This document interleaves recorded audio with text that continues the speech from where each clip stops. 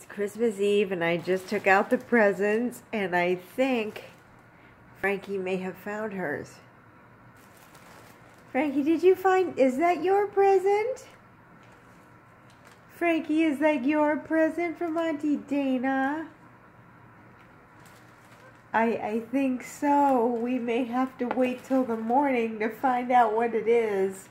It's a mystery. It's a real mystery. Huh? What could it be? Oh my goodness, what could it be? We'll have to wait till the morning to find out. Oh my goodness. It's a Christmas mystery. Thank you, Auntie Dana. We love you. Thank you. Merry Christmas. Oh boy. Well, gotta get to this. oh boy.